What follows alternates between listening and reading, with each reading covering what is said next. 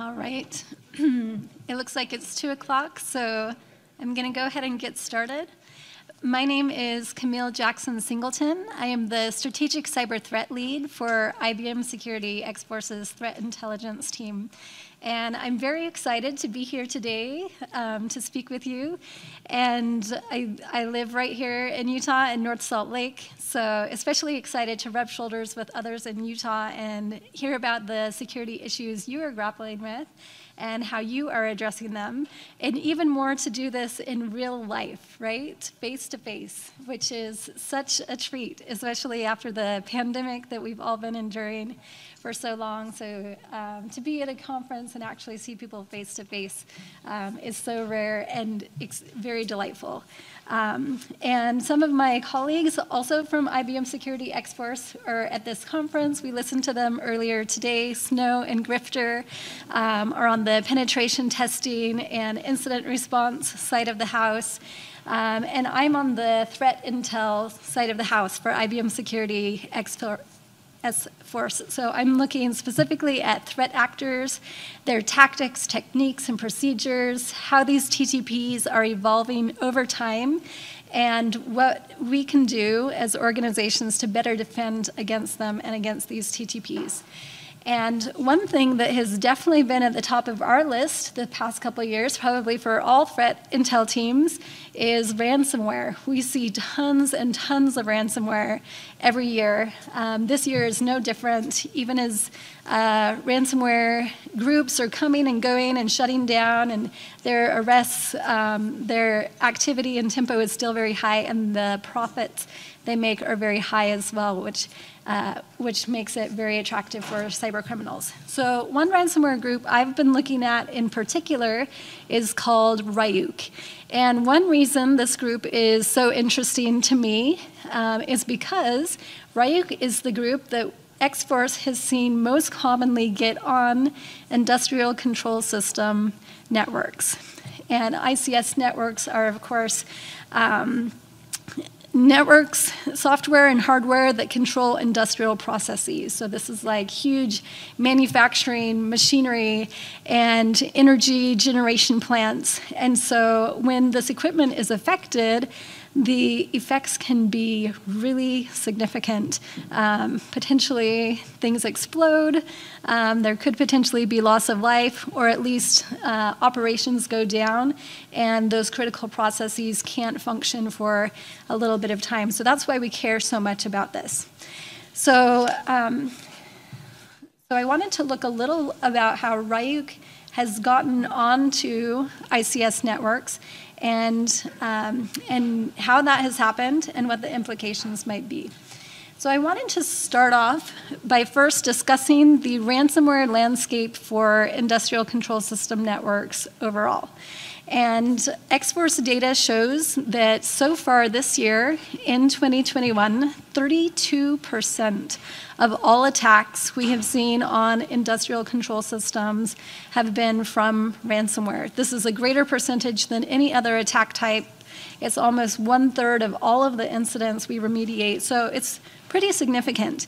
And admittedly, even when you look at non ICS organizations, ransomware does again emerge as the top attack type. So this isn't necessarily unique to uh, industrial control systems, but arguably the effect of ransomware on organizations with industrial control systems does have a unique effect.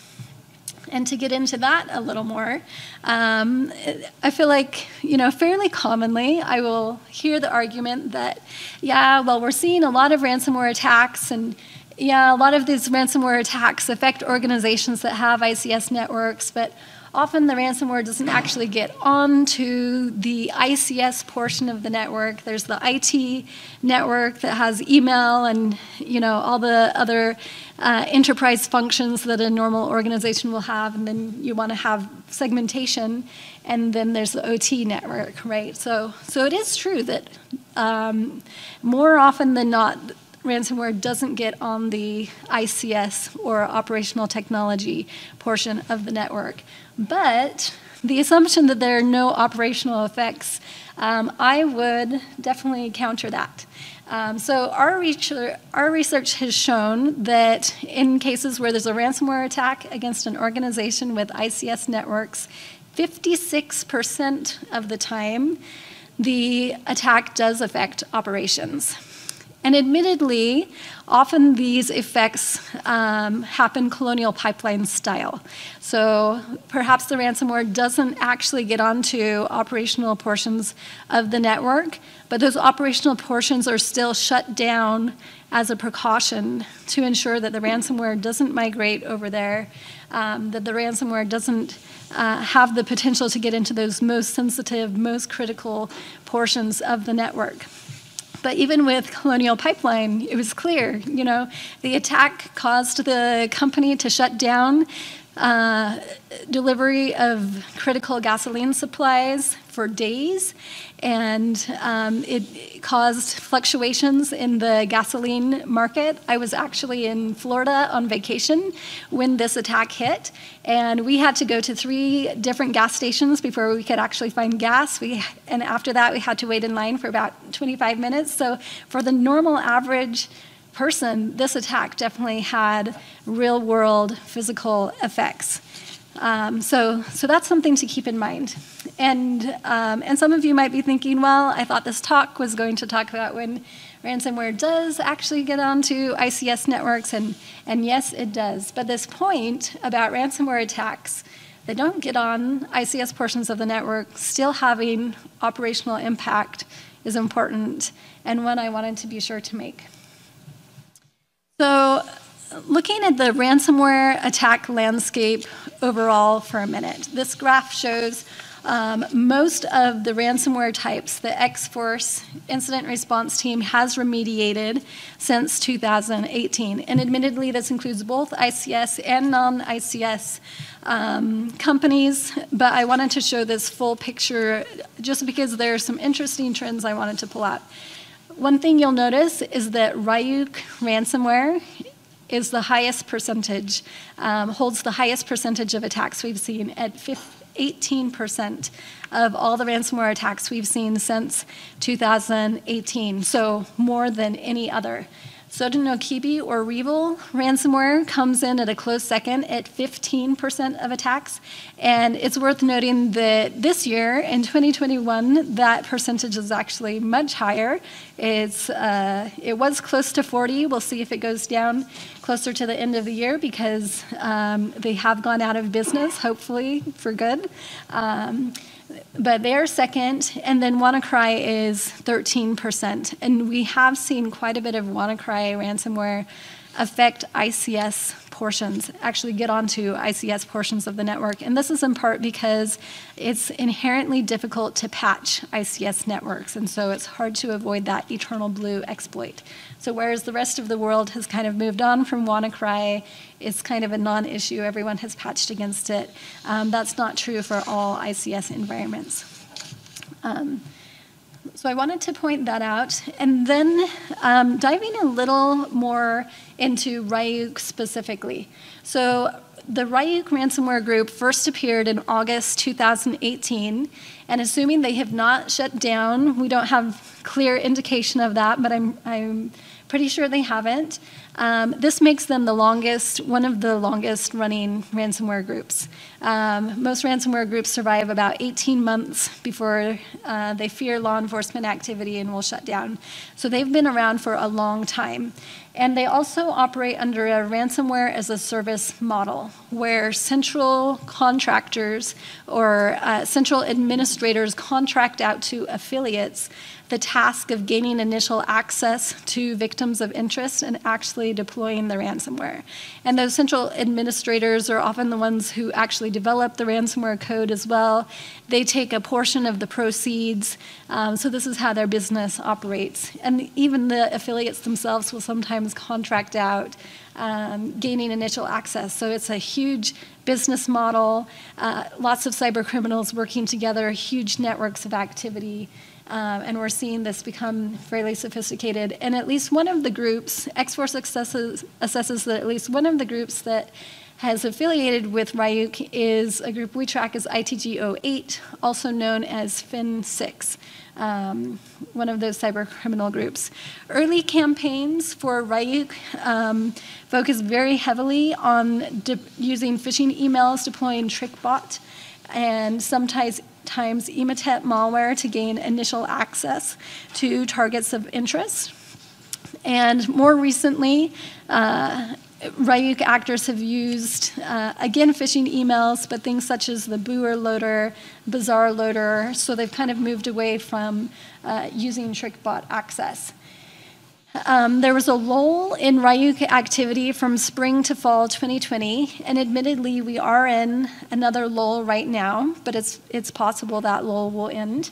Um, but uh, once they started up again in fall 2020, their campaigns um, shifted to Cobalt Strike, Bazar Loader, BuerLoader, um, and also post 2020, they are known to act very swiftly and deploy ransomware sometimes within hours of gaining initial access to an environment.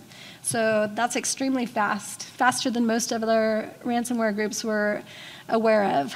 And then also, um, earlier this year, the French government um, released um, some analysis indicating that newer Ryuk variants have worm-like capabilities. And we're going to get into that a little more in the next few slides and talk about um, those implications. In terms of industries Ryuk prefers to go after, this group loves hospitals. And whereas some ransomware groups, especially during the pandemic, have kind of stood down on attacking hospitals and medical facilities. This is definitely not the case for Ryuk. And if anything, they seem to prefer this as a target. And in October 2020, it attacked a US hospital chain um, with more, more, than 250 facilities um, and uh, crippling all of these facilities and leading to some chaos impeding some care for patients. Um, so, so that's something to keep in mind. This group doesn't uh, seem to hold back in this regard. And in addition, Ryuk ransomware attackers have demonstrated a particular affinity for attacking organiz large organizations that rely heavily on ICS networks. And within X-Force, we've seen them especially go after manufacturing and transportation, both of which rely on uh, ICS networks, and we know they also affect industrial distribution, oil and gas companies. We'll talk about some uh, examples there, and energy and utilities as well. But most importantly about Ryuk, as I stated at the beginning, this is the ransomware strain that X-Force has most commonly seen get onto ICS networks. And of course, not just on organizations that have ICS networks, but actually on the ICS networks themselves. And so, um, so that's definitely concerning. And it's not clear whether Ryuk actors are doing this intentionally or whether it has just happened by happenstance, uh, if they just got lucky on multiple occasions. But what we can say for sure is that it has happened. And the fact that Ryuk tends to target organizations with ICS networks so heavily might automatically increase their chances for migrating into those more sensitive environments every now and then. So in one major example of Ryuk on ICS networks, in early 2020, it became public that Ryuk ransomware attackers had targeted at least five oil and gas organizations and potentially more than this. And these flurries of Ryuk attacks on similar organizations um, is fairly common. We've seen them do this against hospitals as well, and it's possible that we'll see a flurry of Ryuk attacks against a cluster of similar ICS organizations at some point again in the future as well. Comments by some observers close to these victims, these oil and gas victims, suggest that Ryuk ransomware actually got onto ICS portions of the network in multiple of these incidents. So at least two, maybe all five, um, the Ryuk ransomware did migrate over into the uh, ICS portion. And one of these incidents was explained in greater detail in a bulletin put out by the US Coast Guard. The U.S. Coast Guard bulletin detailed that the threat actors first gained initial access to the environment through a phishing email, and this makes a lot of sense since we know Ryuk actors, especially in 2019 and 2020, early 2020, were relying heavily on TrickBot phishing emails to gain initial access. And from here, based on what X-Force has seen in other incidents, extrapolating from what we've seen, it's possible that the Ryuk actors deployed a PowerShell loader and then a Cobalt Strike beacon, or potentially the Empire Post exploitation framework to gain an initial foothold in the environment. And then um, the actors probably used SMB or WMIM exec as well as credential harvesting techniques to move laterally throughout the network and eventually gain access to domain controllers.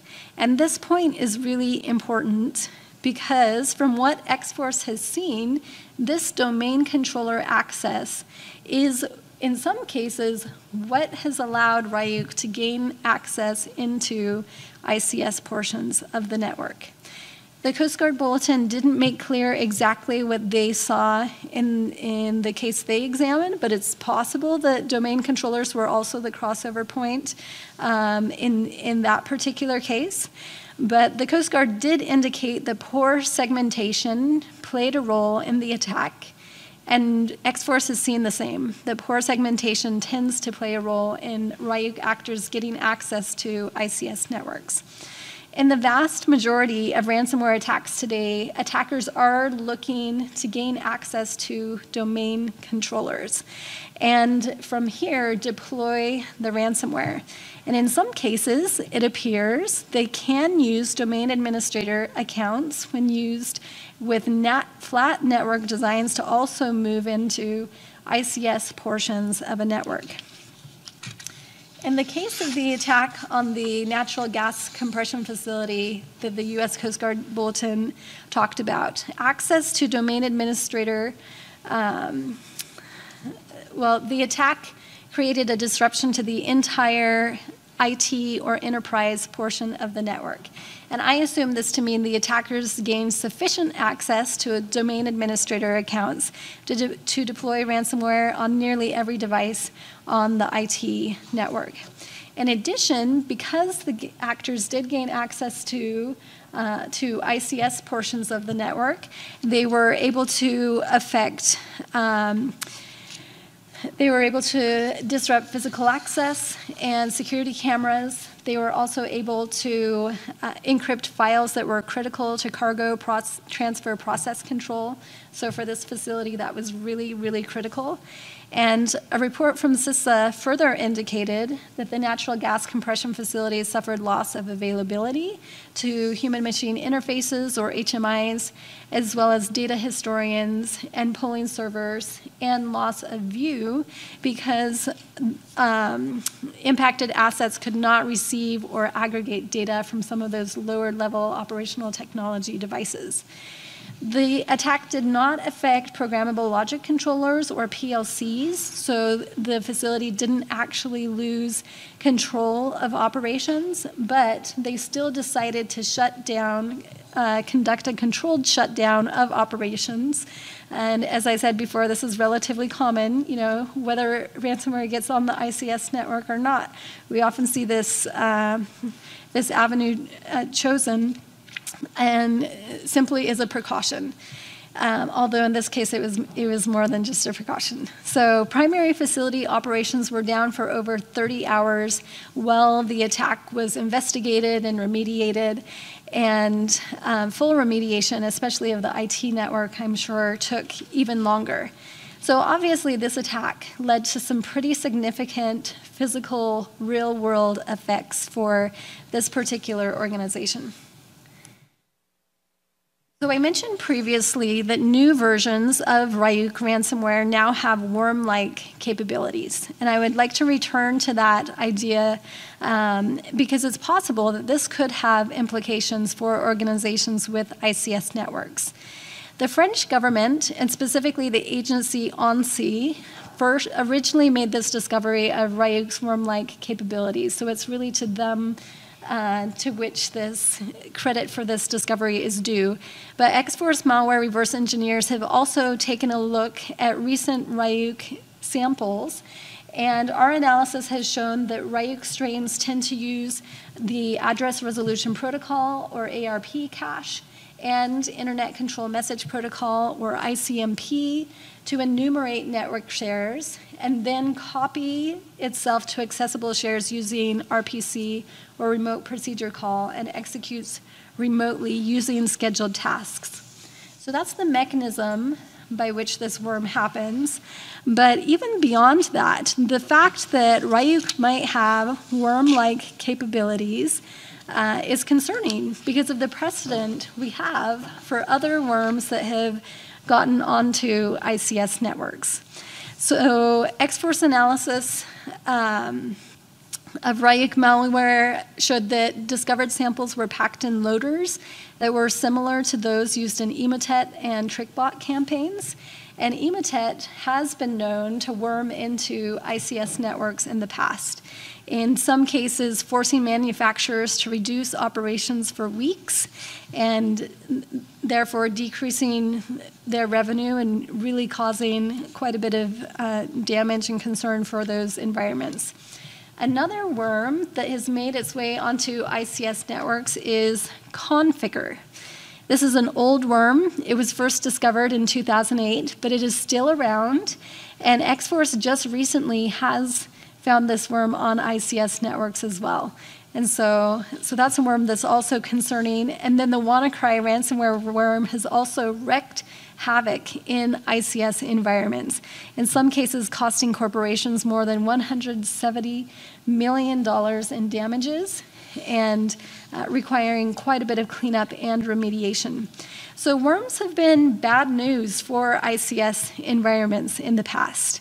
And this new development of Ryuk ransomware having worm-like capabilities could potentially give Ryuk a higher likelihood of worming into ICS environments in the future, especially if that is a goal that the ransomware group members happen to have or something they're aiming to do. So these developments are a little concerning. Ryuk getting onto ICS networks, Ryuk ransomware adopting worm-like capabilities, but delving into these instances and looking at specific case studies can be powerful because it can provide insight on what organizations can do to decrease the chances that these types of attacks might happen to them in the future.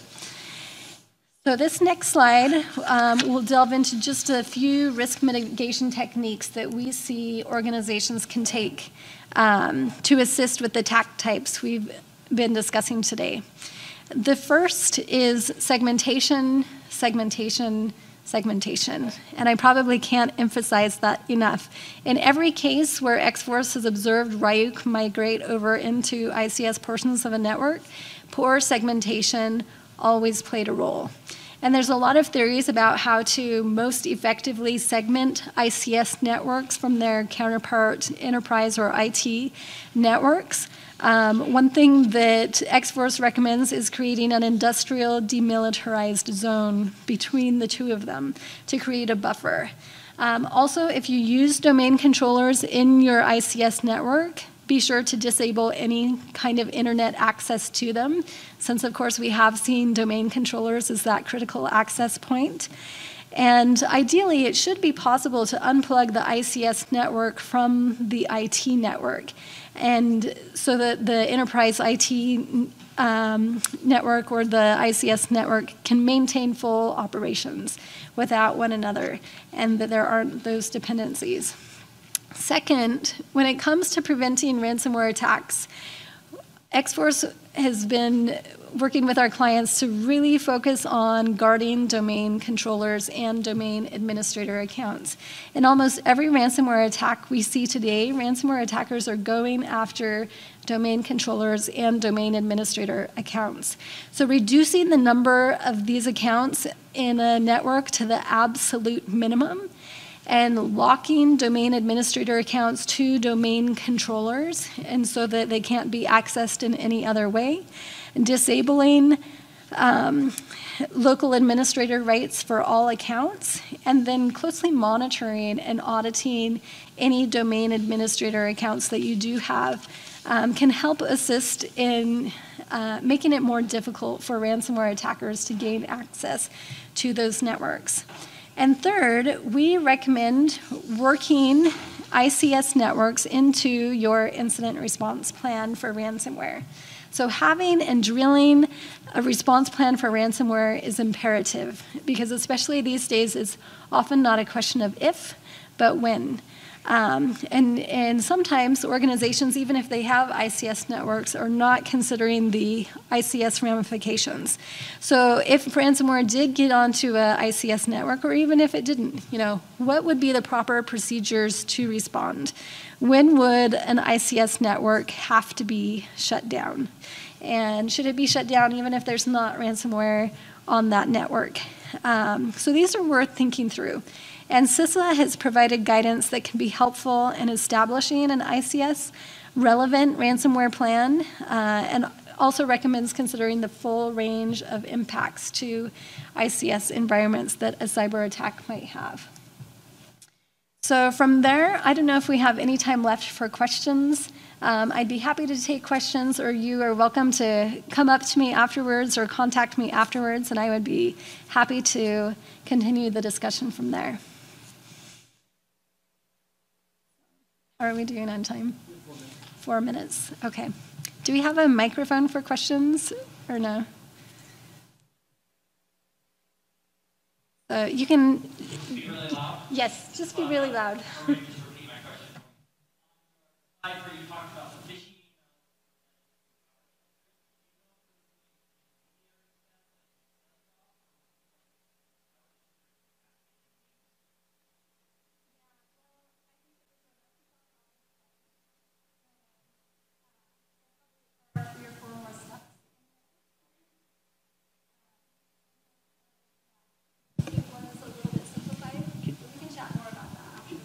Use, can use the mic or the recording won't have it. Yeah. We can so, lower it down. Okay, yeah, so the question was just about the phishing email to the PowerShell loader. Were there any additional steps in there? Um, and I was just saying that, uh, yes, there, there were a couple more steps that did take place in there. And specifically, it was a Microsoft Office document um, that it appears dropped that particular um, PowerShell loader. And I should specify there is, even before the PowerShell loader, they, it dropped TrickBot. So it would be TrickBot and sometimes Emotet and then a PowerShell loader. So, but they're, they're using a lot of different tools, especially in that um, stage where they're gaining uh, persistence on the network. Uh, so I was just curious why your slides were labeled TLP Amber, just out of curiosity. Yeah, so, and that's just because um, there is information in here that comes from X-Force incident response from work with our clients.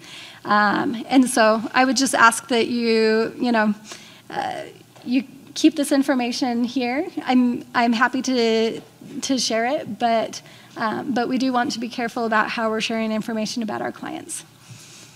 Is Ryuk one of those ransomwares where you can actually get your files back if you pay them the money, or do they not implement the decryption part of the ransomware?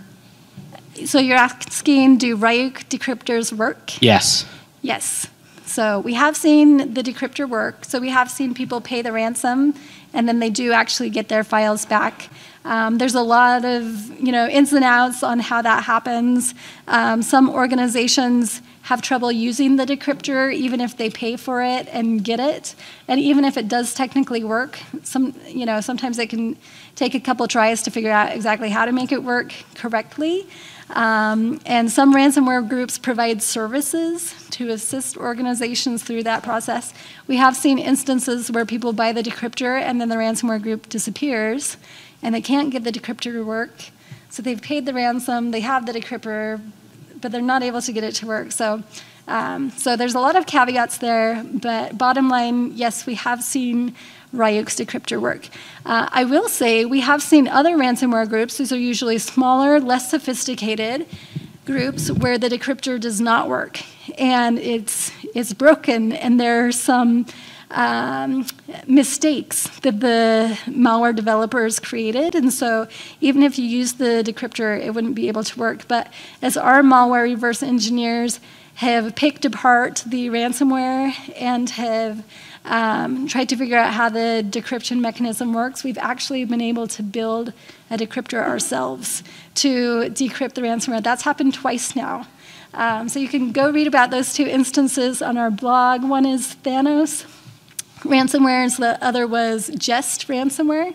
So, um, so sometimes that happens, but the larger groups like Ryuk, their decryptors do tend to work, and their encryption, encryption mechanisms do tend to be uh, very sophisticated. So, all right, I think that's all the questions we have time for, but thank you very much for your attention.